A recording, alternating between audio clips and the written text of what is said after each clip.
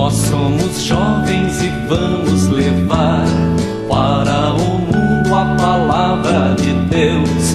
Vamos lutar para a paz imperar e para o ódio diremos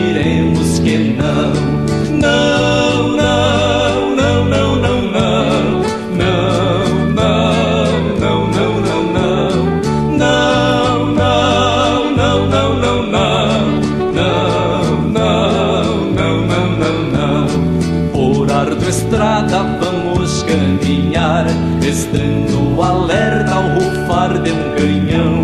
E se for preciso matar um irmão, nós gritaremos dizendo que não. Não,